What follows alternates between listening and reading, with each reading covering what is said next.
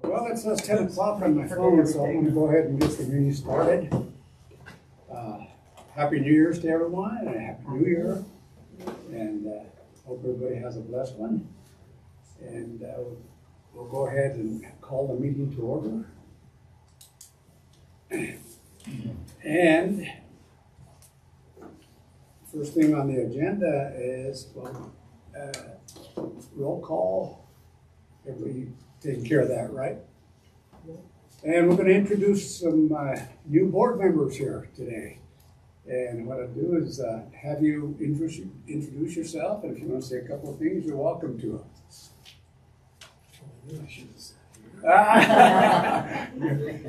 Put you on the hot seat right away. Good morning, my name is John Higgins, brand new to the board, looking forward to uh, getting to know everybody and service to the community. Thank you. Thank you. Oh, hi, Eric Brack. Um, Thank you for nominating me and selecting me for this service, and uh, we're looking forward to it. Welcome in. Okay, I'm Ann Coakley, and uh, ditto. Happy to be here and I'm looking forward to it, yeah. okay. And then we'll go introduce uh, other board members in a minute. Oh, Okay. Uh, where we at here? Here. To your. Oh. I knew there was another one. Yeah, my name is Maria Guadalupe Garcia. And Cortez is for my daddy. So my daddy, his last name, my daddy is uh, Cortez. So I choose Garcia for my ex-husband. Yeah, and um, I'm glad to be here and and thank you for inviting me. Okay, and I think most of you know me because I was on the interview committee, but I'm Art Quintana and my sixth year on the, on the board here. And I will be conducting the meeting today. My name's Arlene Zordman. Uh, I've been on here about six, seven months now. Um, That's it. Okay. Uh, Go ahead with, Oh, Bonnie Dooley. I've also been on the board about six, seven months, so Arlene and I were the newbies before you guys came on board. okay, and then, want to introduce yourself? Sheila. Yeah, I, I'm Sheila Conroy, and I've been on the board about four years. I think I've just been told I have to, I'm no longer on the board at the end of 2025. So, whatever that means, I've been, I've been here for four years.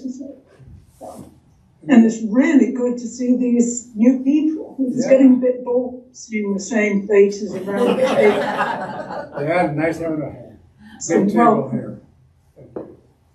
Roddy, you wanna? Yeah, uh, Ronnie Maina, Senior Services Manager. Officially started my second year in this role as of December 27th, I think.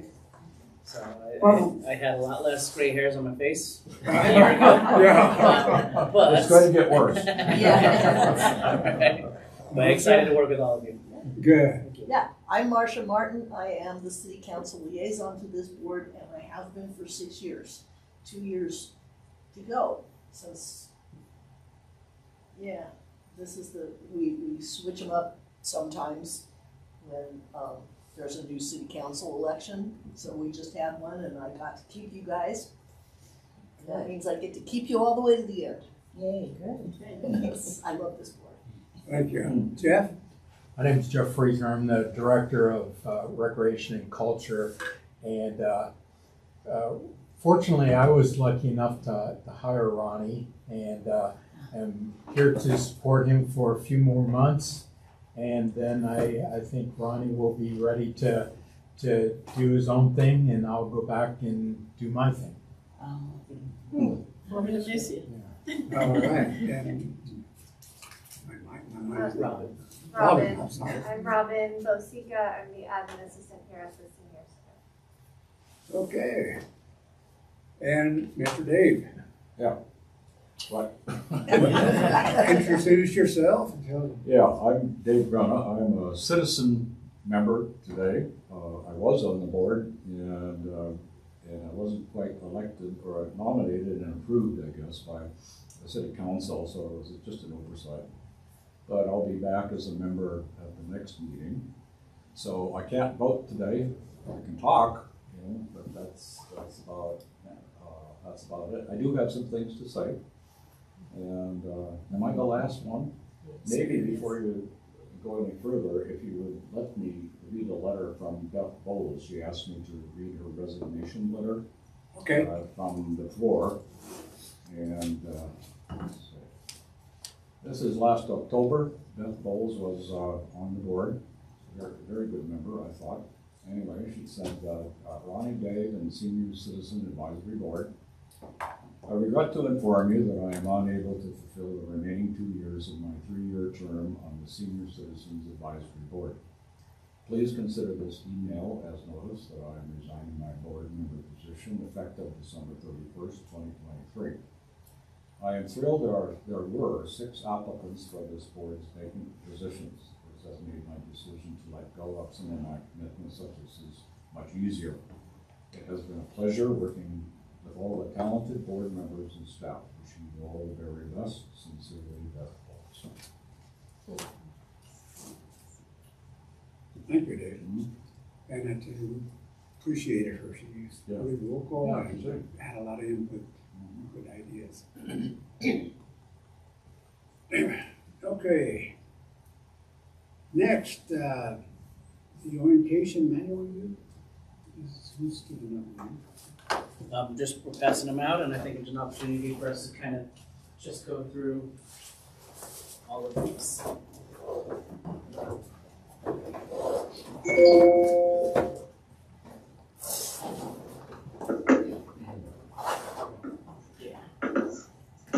That one's for. Marcia, I think we live in the same neighborhood. Well, Rich, There. Yeah. I'm on, Par- I'm on North Parkside, Oh, and you're, um, I'm on South Emery. yeah. Yeah. If I ever got out. You never got out. We'd see each other. Get it done. Yeah, that's Lonnie, that's right. I can't. Yeah, I'll hang on to yours. Oh, um, Dave has. Yeah. Well, that's yours, Dave. Yeah, What's that? That's yours. This is And I'll, mine? I'll hang on to Sheila's. Yeah. That's mine? And that one's yours. Okay, And then I'll hang on for Sheila. all right. You don't want to, Actually, Ro- you don't want to hand it to her? We'll deliver it this afternoon. She wants you to toss it over to her. Can, can you hear us? Go ahead. can I say something? I, Absolutely. I'm, I'm ashamed to say I found my folder um, before I came away when I was tidying up my home office. So I don't need a second folder. And I promise I will read it when I get back. So thank you for thinking of me. Is there any changes from the last one we had? Um, there were some updates. Okay. There are some updates. Yeah. Okay. So. And we are providing this as background information for the board. Um, Want to make sure that uh, the new me- board members start out with as much information as possible. Um, We'd encourage you to read through it. I think one of the most important sections in there is uh, uh, your responsibilities as appointed to the board uh, by the municipal code. And uh, there's also contact information for all the other board members. And uh, what, uh, for the, the new board members, Ronnie and I will be scheduling meetings with you um, to kind of bring you up to speed with what's going on with the board. With the, uh, how quickly this uh, meeting was after the new year, we really didn't have time to, to schedule that, but we will do that before the next meeting. And uh, thank you for um, being on the board. And if you have uh, any questions in between meetings, please don't hesitate to reach out to Ronnie or I. The um, contact information is not in there yet. We wanted to gather the new information. Okay. So, yep, so new board members, I'll collect your information at the end of this, uh, this meeting, and in February, we're gonna identify, uh, positions, uh, for this board, so I'll collect information, February, I'll identify that, and then I'll send, send that out to everybody for us to add it to, um, this, this binder. normally that, that you appoint uh, chair and vice chair at the first meeting, but because of the unique issue with, uh, with Dave this time, we thought it would be best to wait till the February meeting and then have that election then. I'm glad to hear that. And one, one of the things I forgot to say is welcome to the new board members. We're happy you're here and, uh, we look forward to working together as a, as a board here. Thank you for that. Okay. Approval of the agenda. What do we need, a motion on that? Our November, November first. Oh, I'm sorry, for the agenda. Yeah, the agenda. Do we need a, A motion do we need a motion? I make the motion. I'll second. Okay. Motion is second for the agenda. All in favor?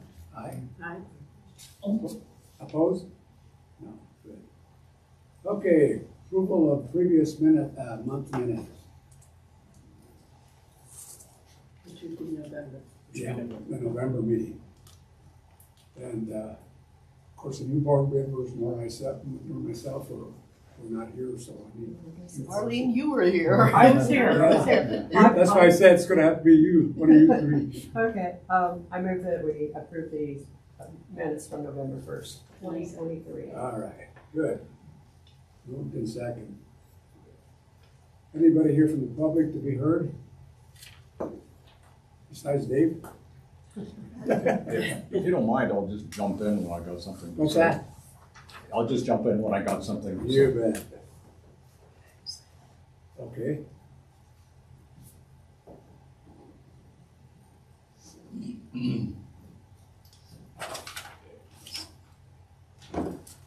Okay. I've got something to say. That's why I hesitated a little bit.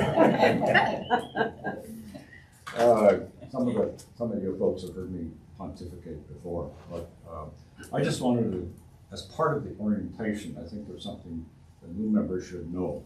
What, what we've been doing over the last year and what we're hoping to do over the next few months. Uh, In, in your, in your manual, and in the minutes, uh, the city ordinance is listed as far as what are the goals and objectives of, of this board. And you can read that and study it for yourself. But we're going to change the way we make our, re- our report to the city council this year as opposed, as opposed to, uh, previous years. Um, I think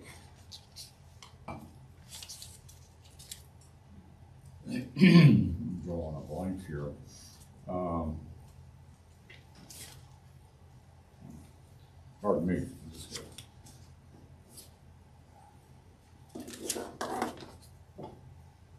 uh, I don't know what happened. Um, it's embarrassing. did you want to talk further about, Yeah, I, I, I remember what it was Okay. now. Yeah, I didn't have a lot of sleep last night, I guess that's the problem.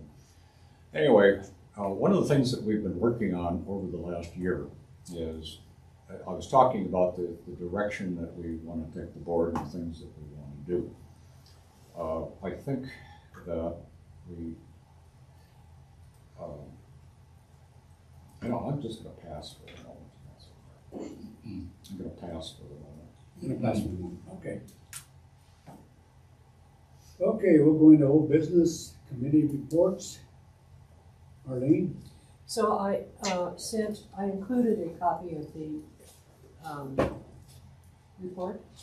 Okay, and because we're always running out of time, I thought it would be easier that way. If any, if you guys read it and you have any questions, um, you know, I certainly will try to answer. But I think there are some areas that as, as advocates, we need to look at advocating for the seniors. And one of them is with the microtransit.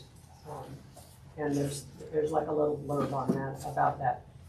I think we need to advocate that it be either free or extremely low cost.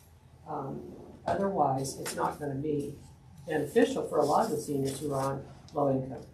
Um, The mobility hub is kind of an interesting thing. It's gonna be out on I twenty-five in Colorado nineteen, one nineteen. Um, like you can catch the bus to Denver, you can catch the bus to Fort Collins, Loveland, wherever. Um, that's something that will be completed in the fall of twenty-four.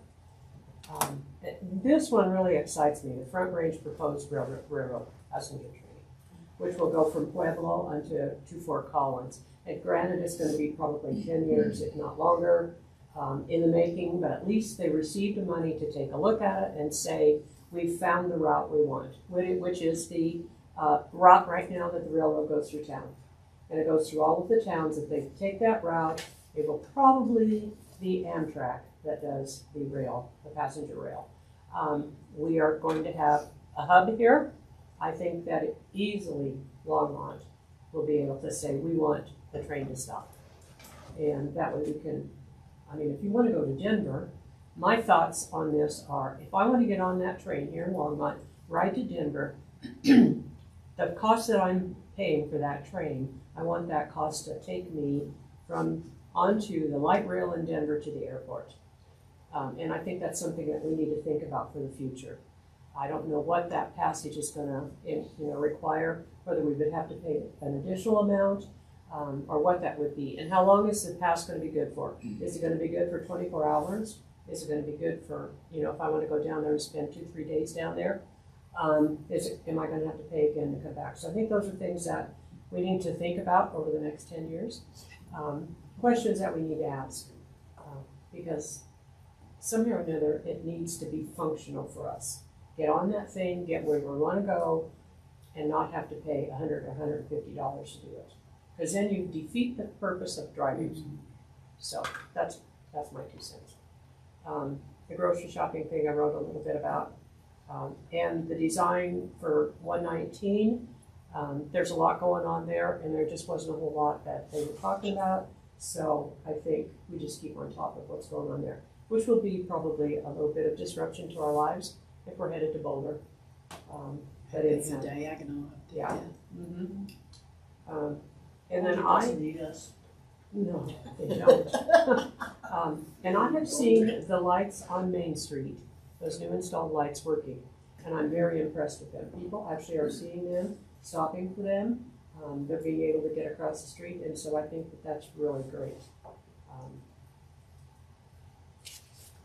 One thing I thought about that I didn't put in there, which I noticed when I was sitting at Twenty-first and Main, is some of the lights that are down here in downtown when you go across Main Street, both directions of traffic, all four directions of traffic stop. And then the walk light goes on before the, any of the traffic is allowed to go. I think we need to take a look at expanding that all the way down Main Street. Um, cause I noticed at Twenty-first and Main the other day, the people that were gonna cross the street, the minute the light turned green for me, the light turned for them. If we give them just that two or three or four seconds time to start getting across the street, it gives them the ability to, to at least get, get moving and cars can see them, or they should be able to see them. But I think that's something we need to take a look at, and I don't know how we would advocate for it, but I would say, even down, when I've been down on Pike at Quail, down there, those streets, they, people need the ability to be able to get across before traffic starts going. So I think we take a look at all the way from Pike and Quail down there up to sixty-six and maybe even just that street light beyond sixty-six. And I think it's a computer thing. It, it is a computer thing, um, and, uh, unfortunately, you have to upgrade the individual light appliance, uh, so they can talk to the computer system. And so the city is replacing them within the confines and constraints of its budget.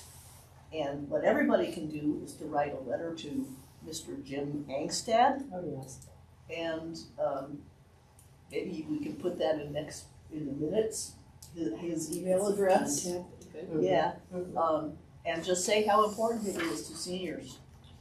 Well, I think it's important to everybody. If you've It got, is. if you've got a family and they're trying to walk three or four Right. kids across, I think they need to be able to get across before traffic just all of a sudden starts going. Especially if there's a baby carriage Oh, involved. yeah, Right. oh, yeah. Just the same as a walker, you know, any mobility device Yeah. can slow you down. Just enough to have you in the middle of the street with traffic coming. Yeah. So that, that's one of the things I thought of afterwards. I, I thought we, we need to take a look at. And as far as Jim Angstadt goes, this is something kind of off the track, but I believe he does Vision Zero.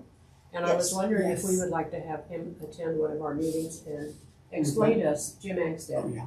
um, explain to us what Vision Zero really is all about and how Longmont is incorporating it into our area. And I would be glad to ask him to come if that were, if that's a possibility. So, um, in terms of the implementation of Vision Zero, um, Phil Greenwald is sort of the design and visionary, whereas Jim is responsible for the implementation, and he's the guy that like decides where the The light goes and stuff. He's engineering.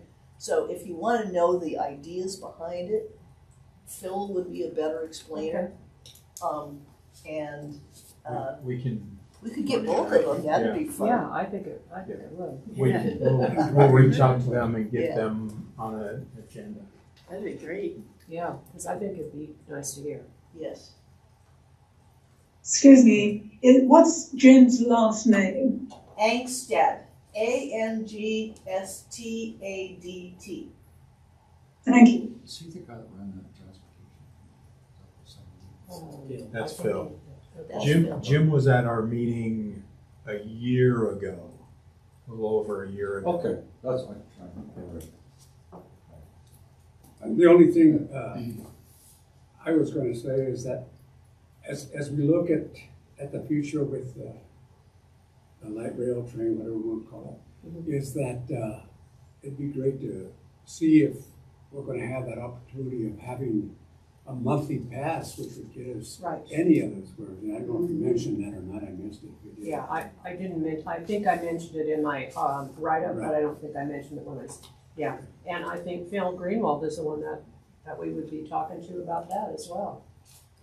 Yeah, And again, I read that, it's been a little while, but where, was it sixty-six and, uh, I twenty-five, or was it one nineteen? one nine, not for the, The bus, yeah, one Uh, nineteen, one nineteen and, and, and, and, yeah. okay. So the hub that we're talking about in Longmont, is that around First and Main?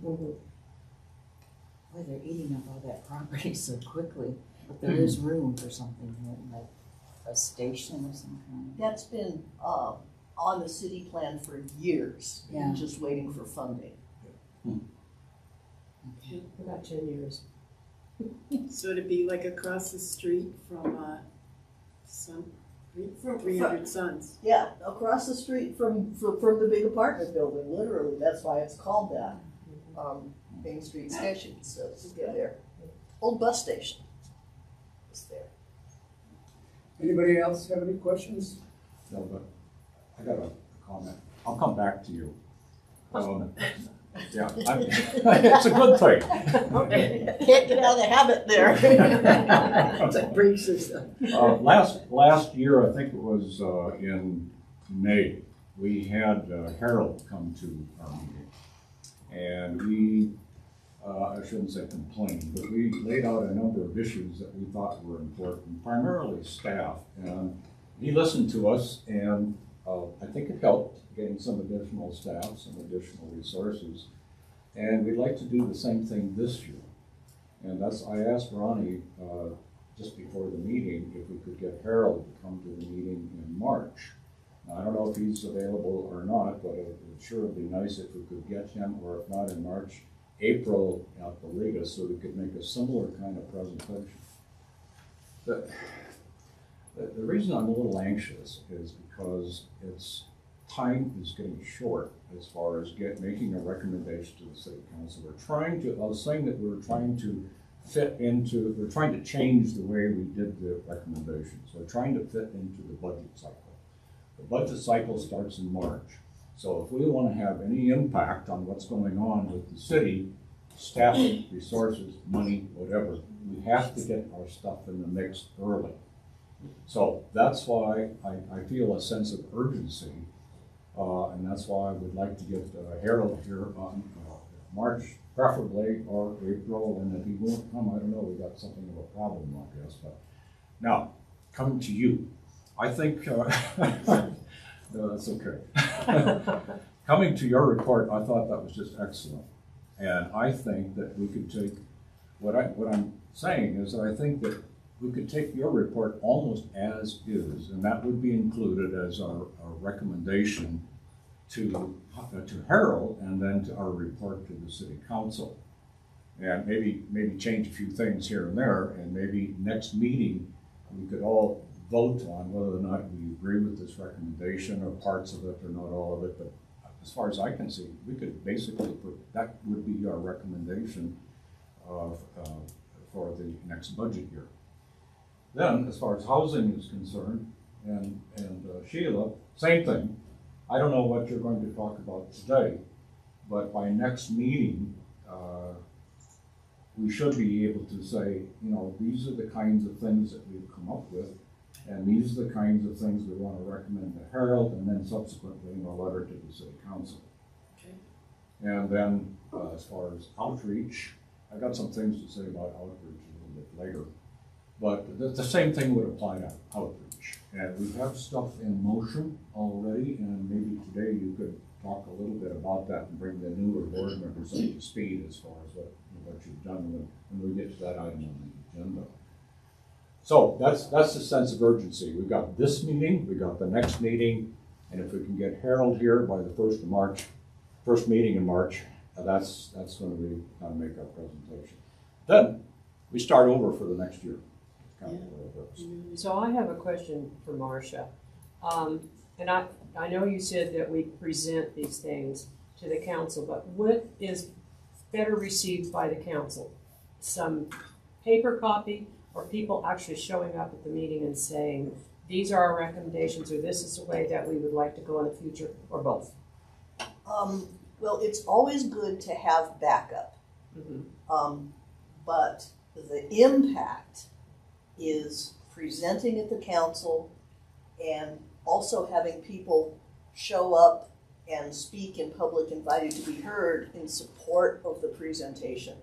So the more, um, the more you can muster, and that doesn't mean filling up public invited to be heard with twenty-seven speakers, but it could mean having twenty people show up wearing the same color and having three speakers. Um, you know, just really a show of support is the most influential thing on And, council. and when would that be, you know, just timing wise, would that be like May? No? Earlier. What Marcia. Council meeting? Yeah, Council meeting? and as, as early as possible when we're ready, um, you know what, there's, there's a process that you follow to get on the agenda, correct, Ronnie? And so I think, um, when Ronnie, who has a report for the agency, you know, for the senior center, and the board are both ready, then he makes the request. But it's good to do this early in the budget cycle so that um, both the council and um, the uh, financial department, the people who do these weighted works, um, uh, in terms of deciding what gets funded and what can't be funded, you know, what we have to do is establish the need case. And the more strongly we establish the need case, then the more likely we are to get the funds that we need to do the work we, we, we want done. And there's two uh, aspects to that. One is showing public support, and one is showing that we have a firm plan so that, you know, we can, it's something that we collectively, the senior center and its advisory board, can execute on. So those are the objectives. And um, I'm sure Ryan knows that better than I do, but, um, you know, but that's what, if we, if we, you know, last year we did a really, I thought, fine job of, of going over ways that the senior center can extend its reach to uh, different uh, seg- segments of the community that are not as well served as, uh, you know, the ones you see when you walk through here. Um, and uh, we talked about, you know, extended hours, um, which requires more staffing because the people that are on the staff now are busy, right? They don't have more time to just hang around here. Um, and, uh, and we talked about outreach, and we talked about learning from the community what different services are helpful. Um, But if they don't have a building to come to, it's hard to offer those different services. So those were all just for the benefit of the noobs here. Um, those are all things that we talked about doing. Um, I'm really excited about those ideas because that's our job, right? Is to serve as many people as possible and to serve them with what they need. Um, so that's the strategy for getting it, is just what David said. I was gonna say what she just said. I, I agree with all of that. But I think it's important we get our ducks in order. That's what I'm trying to do here, you know. Get, you know, we know what we wanna do, and then we push it through the system, uh, you know, like she said. So that's, uh, so that's all I got to say. Well, and even if we don't get what we're asking for, that it has been presented.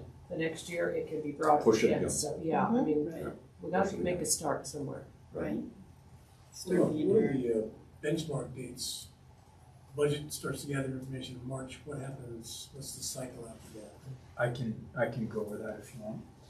So generally, the, during the month of April and May, staff does, uh, our requests for both capital improvement projects and the operating budgets. Which is people mostly. Yes, yeah. By the end of May, um, staff, uh, can no longer make our requests. That's when it comes to an end. Um, generally sometime in June, the city manager and the finance staff, uh, schedule a meeting with us to review our requests. It's our opportunity as staff to explain why, uh, what we're asking for is, is so important. From there, Harold, the city manager, uh, and the finance staff uh, put together a, a budget that is presented to city council by the end of August. And then city council usually in September conducts their budget and capital improvement uh, uh, budget hearings so that um, staff is given the opportunity to share the need with council members as well as with the public. It's the first time that uh, the public uh, gets to hear what's in the proposed budget. Council in in uh, uh, October conducts a, a couple of public uh, hearings where the public can give comment, and then usually uh, end of October, first part of November, the council approves the budget in, on two readings, and then it's set to go uh, for the next year. At, by that point, there was just the tinkering stuff. Yeah, one, once it gets to, uh, being presented to city council, I would say it's 90, 95 percent set with council having a little bit of flexibility to, to add or, or take away. But really, your opportunity as a board, uh, really needs to be shared, uh, your comments in March or April, or, or you've really missed out on the budget cycle for that next year. Council could upset the whole apple cart in October or November, it has that power. Yeah, yeah. But, uh, in general, we are responsible people who care about the operations of the city, so we don't. Um, you know, something would have to be really terrible. Um, Yeah, that, that's a great point, because council, uh, makes all the decisions, and if, yeah, if they don't agree with something that, uh, the city manager or finance, uh, department is, has, uh, put in, then things could get, um, readjusted, but, uh, in, in my twenty-five years with the city, I've never seen that happen. Uh, I, I think that, um, if council has issues, they, they voice that early in the process so that, uh, decisions can be made, uh, to, to meet their, their, their needs. and it was, this was not done by council specifically, but probably the most disruption there's ever been to a budget was in two thousand eight, two thousand nine, when we had the Great Recession, and we couldn't afford, we didn't have enough revenue. Yeah. to continue with the plan as it was. yeah Yeah, that was the year the ice rink was, was going to be scrapped and then in the midst of it being cut from the budget to a new, uh, council being elected, it was, it was put back in the budget and we had two weeks to get it operational. That was, uh, I had a full head of hair before. That's not true. I haven't had a full head of hair forever. Okay, I don't know if there's any other discussion on that. If not, we'd like to move on, but thank you for that report and thank you for. That was a great input. report, Eileen. And I guess the question I have is, as far as, uh, would it be you or Jeff, or who would be con- contacting Harold to find out if he would make it to a March meeting? I'll do that. And Harold is the city manager? Yes. Or- Yeah, I think it'd be good for him to hear what we have to say and to meet as a, meet some of you folks. too. I, I thought it was quite good last year. Yes, it was, very informative. He can often share things going on in the city too that we may not fully know about, you know, he can fill us in on things and let us know what the latest and greatest is, so. Okay, housing, uh, Lonnie and Sheila? Okay, Sheila, do you wanna go first or you want me to? I'll go first. Okay. I don't have a lot to say. Um, and first, I want to congratulate Arlene. She, the report that she gave today and in the past have been really comprehensive and creative. Um, so I want to give her my congratulations on that. Um, the one thing that we found about housing is that it affects even every aspect of society in, in Longmont um, from the, the young to the very old. But I'm trying to concentrate on the, the older section. And what I'd just like to do um, in this piece is to bring you up to date on what I have been doing over the last month, and then um, we'll give a fuller report next month or whenever is appropriate. So um, one of the good discussions I had was with, with a local realtor who is um, a senior, let's see, senior real estate specialist, which is something from the um, National Board of Realtors that gives um, a, a a certification to realtors who specialize in serving older older people, and they have um, they have, give help with flyers and brochures and so on, and some webinars, some training, so that there are real, realtors in Longmont and in fact internationally who specialize in um, serving seniors. And I think I thought that was a, an interesting and rather worthwhile um, uh, operation, and um, we should probably look out for that if and when we have the need of a realtor, or if anybody asks us for a recommendation. Um, I had spent some time um, in the planning department talking to a zoning specialist, and it, it was, although she was extremely helpful, um, it was a little bit um, spiriting because zoning is A, extremely complex, and B, extremely difficult to change once it's on the map. Um, she said that people are sometimes tempted to do what she called a clean sweep, get rid of all the zoning in the uh, in the city and then start start afresh. Not to not have zoning like a city like Houston, but to start again. But that everybody agrees that's not what it's doing. So I need to, to really understand that a little more. Um, those were the only two interviews that I had before I came away. I have an interview set up with Wendell Pickett, who's a developer in Longmont, who some of you may uh, know or have dealt with. Um, he was he's been associated with the LHA in his past and is extremely interested in making sure that his his work, his, his developments, and other people's um, take into account the needs of seniors. So I'm looking forward to having a good chat with him. Um, basically, housing shortage and affordability, as I said earlier, is um, is the problem for all ages and, and all people of all state financial status in this city and in the nation.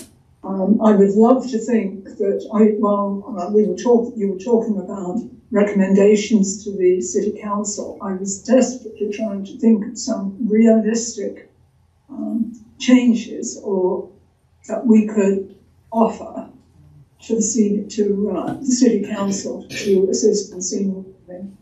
But I haven't come up with, with anything yet, and I'm hoping Lonnie has because she's a little more creative than I am. So, um, oh, and also the one thing is we're still waiting for a change to the, um, the homestead property tax exemption, which is, I know, um, an, an, issue for uh, seniors who want to downsize because the, the issue of property taxes um, in their budget is often um, a major issue, and they want they want to have what they feel is their right, um, and not have to wait another 10 years to get that um, exemption. So we will wait and see what happens. Uh, in looking at, into this, it's been on the, uh, the state agenda for several years, and nothing has um, has happened yet. And uh, you'll remember this last election; it was part of um, it, um, Proposition HH and um, that was that went down, as you may remember. So um, I'm going to do more work on in the next few weeks, and Lonnie and I will come up with some some recommendations and some thoughts um, at the end of those few weeks. And I'll turn it over to Lonnie because I know she's been busier than I have been. So, before, Lonnie, over to you. Before we. Uh, it's okay. Yeah. Marcia yeah, just uh, because Sheila, you said you were looking for some recommendations. Yeah. Um, I recently learned a, an interesting statistic, which uh. is, uh, you know, there's a, a, housing needs assessment in Longmont um, that says that we need thousands of units of uh, affordable and attainable housing just to meet the needs of the current people here who are either trying to downsize, who are inadequately housed, are in danger of losing their current situations, you know, just those without without growth considered at all. Um, and Sheila said she was looking for uh, zoning changes or city rec recommendations to the city. Recently, the city um, made a uh, concession that said if you want to change a single family home into a uh, duplex, we'll waive the connect fee for water, which is like $25,000 that you wouldn't have to spend doing that conversion. And of course, there are many more fees and incentives that could be put in place to convert houses to duplexes. And if 6% of the single family homes in Longmont, this is the statistic, were converted to duplexes, it would meet our housing need assessment shortfall. Six percent. So a, a recommendation to planning and zoning would be to find ways to incentivize people to do that. And um, make that maybe not even change the zoning, just make that a, a, change to the definition of the zone so that you can do that in a single family neighborhood without getting the whole neighborhood riled up. Um, so take a look at that. You know, Wendell Pickett is an expert in that and a true philanthropist. So talk to him about that, and, and he'll he'll have better ideas than I will about the pros and cons of that. Thank you, Marcia. And the other, th- i was just thinking that when you said get the uh, without getting the neighbourhood up in arms, there's a house converted. But supposing that half the houses on the block, and, or let alone all of the houses on the block, decided to uh, become duplexes, I wonder what that would, um, that what reaction that that would um, take. Uh, Um, That's, I mean, I'm There'd thinking, be a reaction. that's Yeah. why it's not a snap decision. I'm That's just, right. I'm Yes. just, I'm just telling you, you know, it could be like, uh, you know, we can't control who owns the house, but we can say there can only be this many Airbnbs on a block, and we do, you know, because so restrictions of, of that, of how, you know, first come, first serve, how many, uh, of these, of duplex conversions could be on a, a single block in a single family neighborhood, you could do that, for example. So there are ways. And then how many? there are always ways like Yeah, and what, well, you said that, does the city have any views on, I couldn't find anybody who did have that, but views on air, restricting Airbnbs? Has that been Well, there brought to council? statutory re- restrictions now. Um, Yeah, You know, what happens is, is it's on the books, but, um, we don't have a lot of budget defo- devoted to enforcing it. So people Yeah. are supposed to register as Airbnbs, but they don't always. yeah. Lonnie, did you Thank want to? I'm sorry, do you have some more, Sheila? No, that's, that's fine, that's me. Okay. I'll hand it over to Lon. Thank you. Okay, um, I took the, um, affordable housing angle of, um, housing. As far as, I spoke to the people at the senior center, I spoke to the people at Hope for Longmont, and I'll think of another one. I have my report and I cannot access it. So what I'd like to do, I love the idea of your report, it was, it was a great report. Plus, I like the idea of getting it beforehand. So because everybody's getting a lot of information today, what I'd like to do is get the report out to everybody on email. And maybe we'll continue to do that. Um, give everybody a chance to read it before having it, you know, thrown at them at a meeting, not thrown at them, but, you know, a lot of information given to people at a meeting. This way you can have a, a sense of what we're gonna be talking about. So I'd like to get the report out to everybody. But briefly, I spoke to So the people. Lonnie, the one, one thing I would just say is that the report really should go to, to Ronnie Right, and then Ronnie will distribute. That way, everybody is reminded that we can't conduct board business through email. It has to happen while we're all together. okay.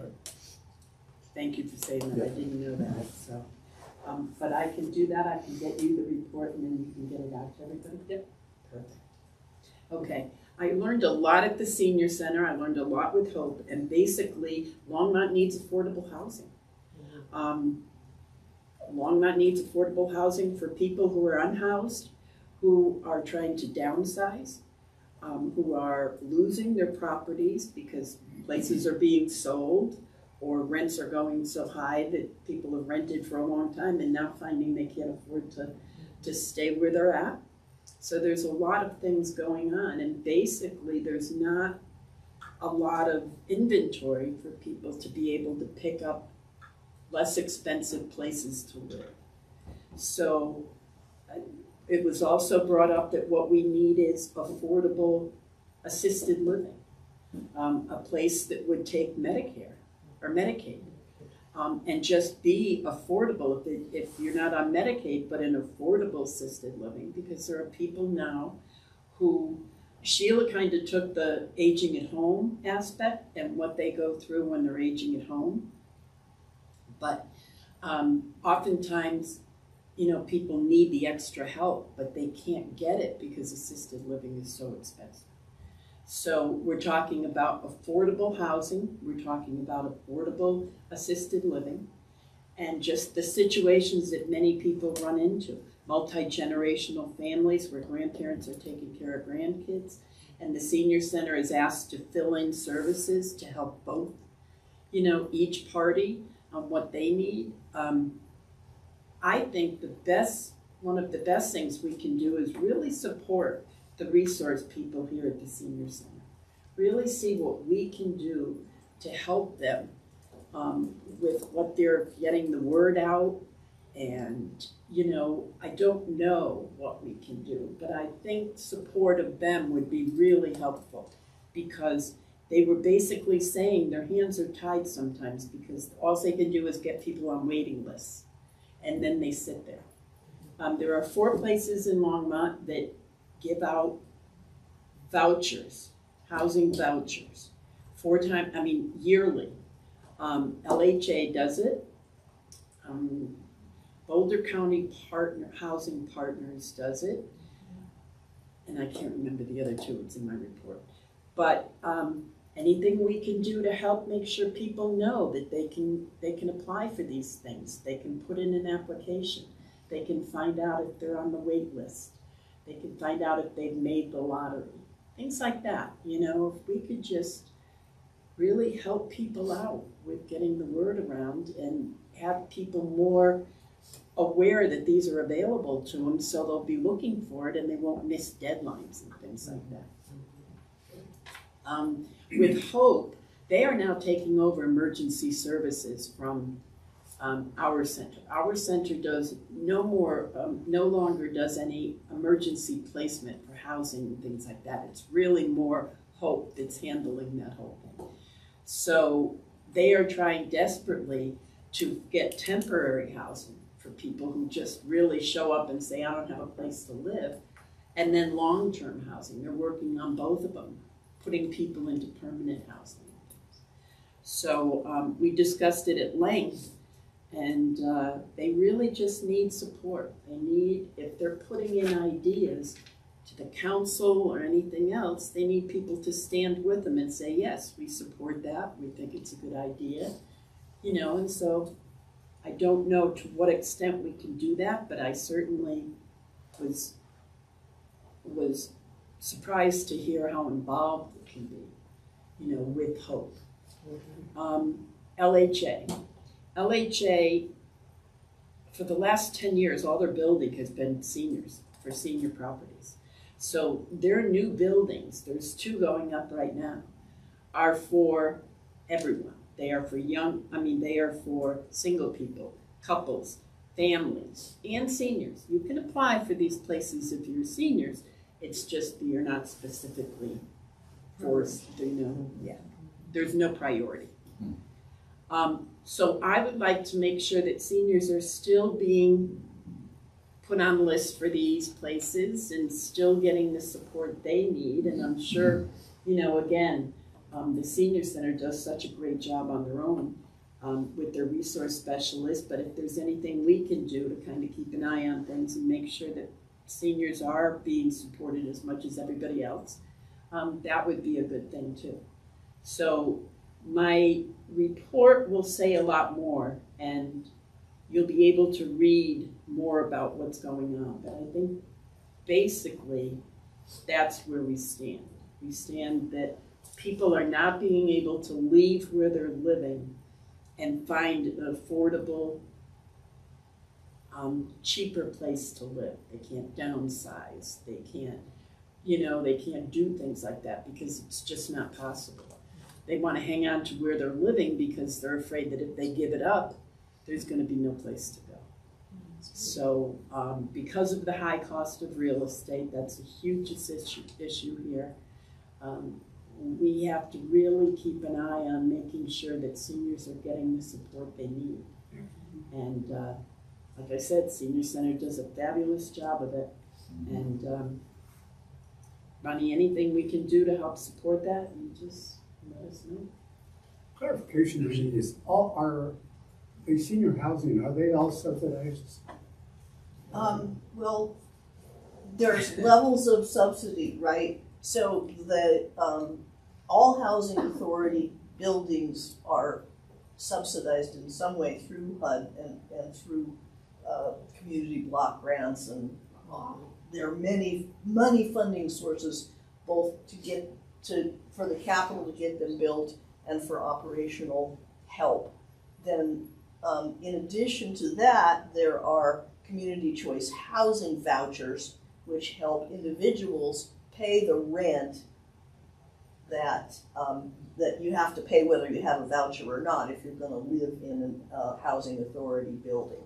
So, um, there are people living in the housing authority buildings who don't have vouchers, who have enough income to pay the rent by themselves, and there are also vouchers that, um, uh, that you can get to pay the rent. That was a lot more important than it used to be, uh, or it, it used to be more important than it is because now private uh, landlords are required to accept vouchers where it used to be that LHA was almost the only place that would take vouchers. You know, the Inn Between and a few other places would take vouchers, but now there are more places to spend your housing choice voucher than it used to be before. Okay. And I'd also like to acknowledge the work of the Housing Authority in recent years, um, that they are, be, because they're doing a better job of administering the Housing Authority and making it, um, uh, cost-effective, man, well-managed, that HUD is then entrusting them with more the ability to administer more housing vouchers so that slowly but surely the number of available vouchers is increasing. And, and, uh, once you get approved for the list, or get your name on the list, how long are you, are you allowed to stay on that list? What did you, They've, they've changed the policy and made it much clearer to people. You have to reapply every year. Every year? Um, yeah, a lot of people thought they applied once and then they said, I've been waiting for eight years. No, you haven't. You fell out and you didn't know it. Right. Um, and so, yeah, if you, you apply, uh, and applying at one place doesn't apply you to the other places. So if you really anticipate needing housing support, what you wanna do is go apply at LHA and at HSBC, and, or not HSB, Boulder Housing, Boulder County Housing Partners, and, um, and I don't remember the other two either, but, Boulder County something, yeah, and then, yeah. yeah. But let me just clarify this too, with LHA, when they have, you're put on a list, okay, and then there's a lottery. And then they go and they choose twenty people. And then you're informed that you're on the lottery and your names are taken off the list. With LHA, they continue on that list until they've gotten vouchers for everybody on it. So it's not a yearly thing you apply for. It's till the end of the list, and then they start another list, and everybody applies again, and then they continue until they fill it. Um, the other places do. They have a yearly thing have to apply for every year. I believe that policy has changed.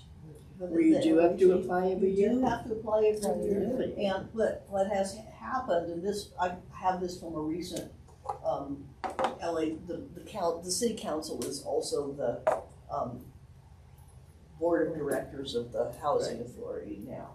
Um, and so this was that they're reporting, what they have done was, um, that, that, that waiting list was really not managed very well by the previous administration, and Yeah. so there was a lot of confusion.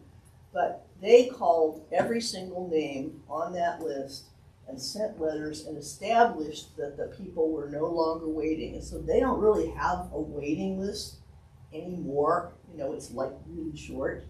And um, and one of the things they've done is that you don't stay on the list for more than a year.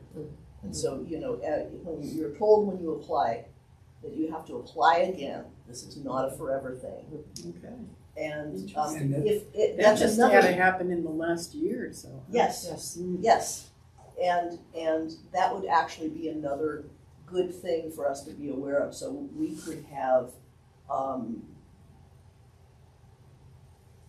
one of the leaders of the housing authority come and talk to us about how their system is working now. Oh, and the lottery So system, that would be That's- Harold, right? whether they're on the lottery or not, they still need to reapply.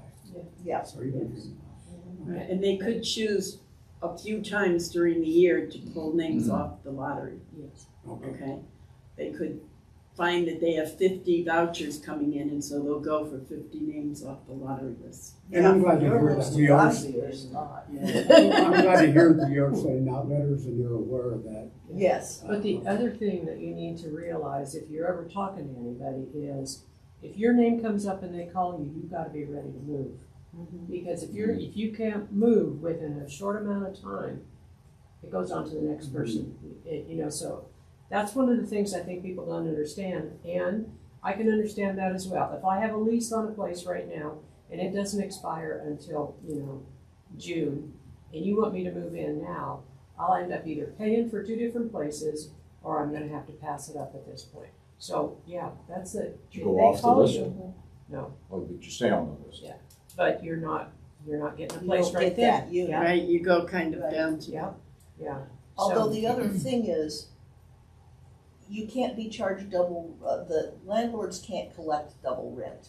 So if you move out when you've still got months on your lease, but then your landlord leases up, Mhm. um, the next month, he has to stop charging you. Yeah. Interesting, okay. Okay, Dave? One, one question for, uh, Ronnie. This is so complex and, uh, you know, the, I think I know the answer to this, but does your, do your staff understand all of the complexities of? Oh, yeah.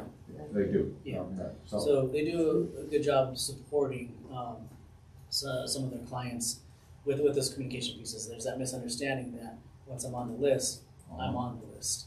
Not, um, so when there's no, so sometimes they'll get notification that um, person A is their their their, their uh, application is about to expire that they need to reapply. They help uh, connect those dots, get a hold of that person, and let them know that they need to reapply. so they're up to speed, Yeah. speed as far as all the angles that, Yeah. that uh, Lonnie was talking about. And as, Keep- right, and then communication of hey, you know, your name was called, like you you got to move now. Um, email, sometimes emails change, phone numbers change, so it's a struggle to sometimes get a hold of these people. And if they're not, if we're not, our our team is not able to get a hold of them, then sometimes it comes back on us. Well, it's your fault, right? It's like no, we were trying to help support you to to, to get this information to you that that you know your name was called, you were selected, um, or you need to reapply. So um, there there's some misunderstandings of what our staff role is in supporting and that we're not in control of it. Sometimes there's a misunderstanding that we're in control. And it's like, no, we're just helping communicate. Yeah. We're here to support and help communicate the information we're receiving. Um, so there, there, there is some, we run into that a lot. There's a lot of misunderstanding of what our role is in that supporting process. And uh, Lonnie, is uh, Hope still looking at homeless as well? Oh, yes, Still doing well? absolutely, Great, and they're picking up with some, right. great. Now, they still only have the Frontier um, Church. And, you know, they basically have mats and things on the floor.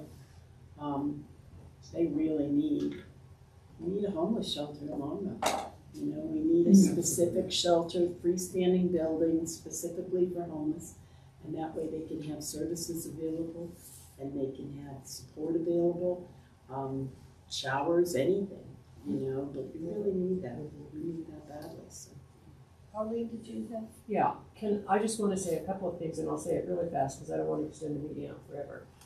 Going back to the HH, which did not pass, it's my understanding that the state legislature is looking at that beginning now. Um, and so I think that we need to be aware of what they're talking about and where that's going, because the portion in there that was critical for us was the homestead, and that they had said it will go with the person, not with the property. So if I'm in a home right now, if I have that homestead and I decide to downsize, I gotta wait ten years to, to get that back again. But if they get it to the point where it goes with the person, then I can downsize and I've got that. You're paying it anyway, why not carry it forward? Okay, and so I think that we need to be aware and we, I don't know what, whether the city or whether we need to just send something to them and say, we would like to see this carried on. You know, um, do we grandfather in the people that are already doing it? What do we do? But that, the other thing is, is I don't know if you guys have ever got out to where the VA homes are, back behind, um, Home Depot. I haven't actually visited inside any of them, but that is really a, really a unique facility out there if you get a chance. Go visit it. Yeah, it's really neat. Habitat for Humanity is out there too, so it's really neat. I'm gonna be talking to the woman who's doing the VCP, is it called? Good, yeah. Community project, yes. And, uh, getting an idea of where they're at with it, you know, and how that was, is working out. I noticed about three or four months ago, this picture in the paper of the first person getting their key and being able to move into one of the tiny homes, and I thought Yeah, that was it's a neat facility out that there. was a great thing.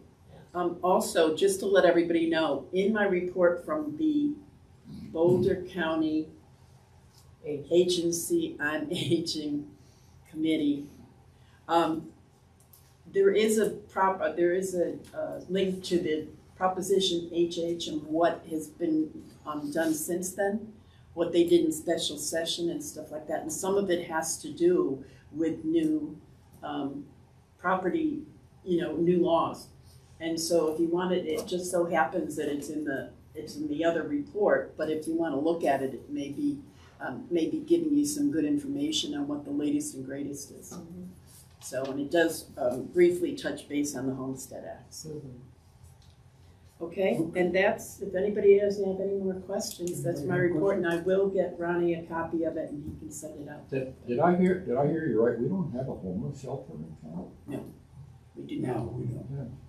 I should say, clarify. Oh, sorry. That Churches, is- I don't know. That is, um, there is not a municipal homeless shelter. What the city does is pass, uh, community block grants that come to the city, um, to independent nonprofits like Hope to provide services to, um, the neediest people.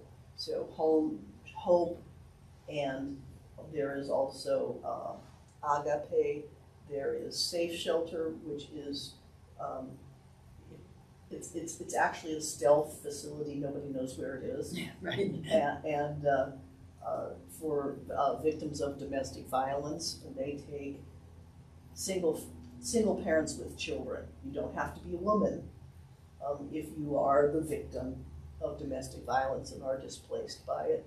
Um, so there are a number of homeless shelters, there is not a municipal homeless shelter. Um, and I don't wanna run the meeting out later, but the problem of homelessness is way more complex than we don't have a shelter. And, uh, you know, I'm, I'm, I don't wanna take too much more time on this either, but, uh, you know, the one about affordable, uh, assisted housing.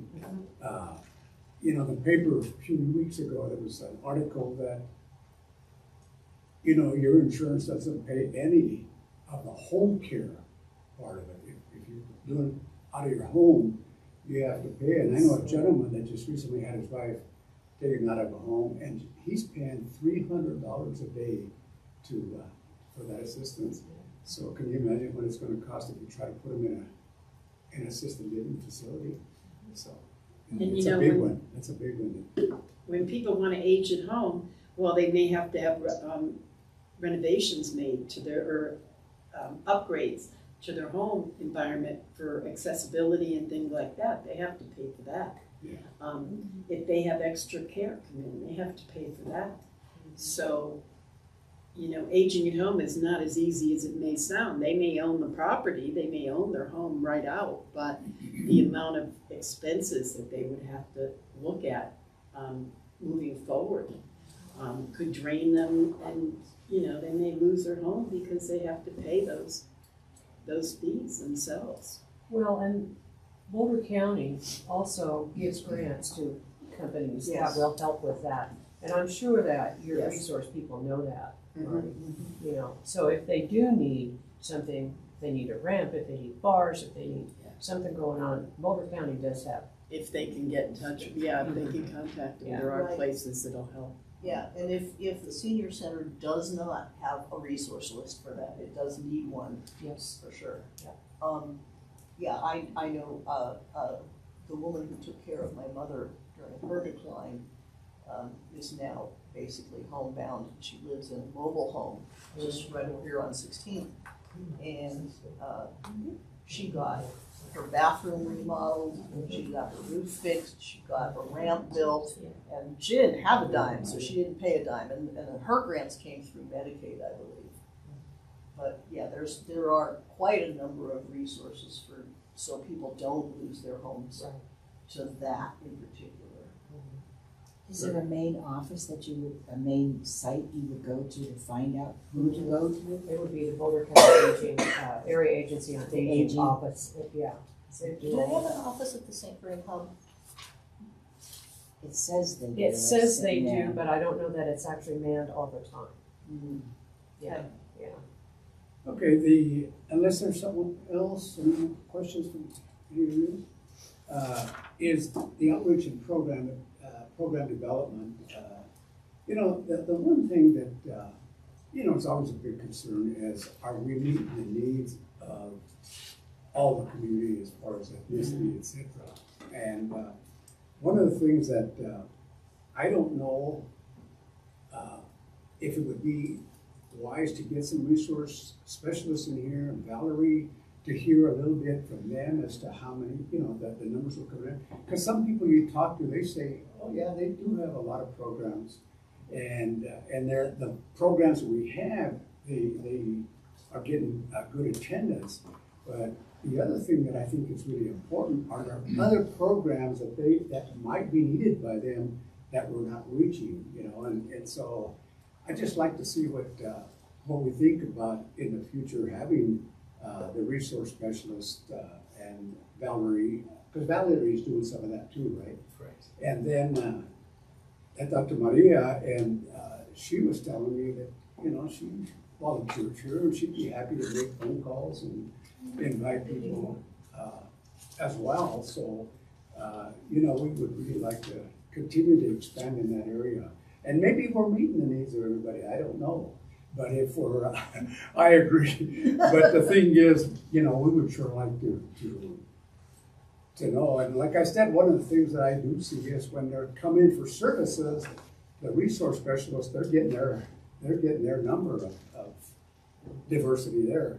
But I'm not sure that some of the other programs are, and that's what we'd like to look at and talk about, a little bit more about. Do you have say? Yeah, so that's good timing. So, um, you know, the, the, our request for, my request for twenty twenty-four was to bring an additional programmer and, um, allowing us to assess who we have on staff at that point to determine how we can increase Spanish programs specifically. Um, so what we have done is we just brought on Terry Calvin, who has been, who's been helping us in a, a part-time capacity um, to keep our programs afloat when we were when we had that had such high turnover. And so she applied for our full-time position. So what that allows us to do now is to not increase programs specifically, like our general programs, but allows us to be more intentional on Spanish programs now. So between uh, Amy Hodge, our, our, our program supervisor, and um, I'm sorry, not Valerie, um, Terry, uh, our program coordinator, Ariana Heater, another one of our part-time uh, coordinators. They are going to, and with with Valerie as well. She's going to take some of these responsibilities, but they're going to between those three specifically are going to divide up responsibilities, take some off uh, Valerie's plate, allowing her to be uh, be very intentional in expanding our Spanish programs. Um, so with that, um, making sure that we're providing opportunities to have roundtables discussions with our current patrons. How do we bring in new uh, patrons for these conversations? That the, the outreach that you're talking about, bringing uh, uh, bringing bringing the right voices to the table to identify what our needs are moving forward, allowing Valerie to uh, be intentional. So hear, hearing them out and uh, identifying what programs we want to implement moving forward. So it's going to be a slow process because you know right now, number one, she's taking over Spanish programs. Um, that's been that's a process on its own, and from there, developing relationships with our current patrons who are involved in these programs. Um, trust has to be uh, developed and established before we do anything, right? Uh, you know, a big part of we're, we're looking through that cultural piece. We develop those positive relationships first, develop that trust, and um, from there, build our programs. So it's not going to happen overnight. It's not a, okay, we got a new programmer, we're going to throw in 10 new Spanish programs, done, problem fixed. But again, when I, when I say we want to be intentional, we, we already have uh, classes and programs around nutrition.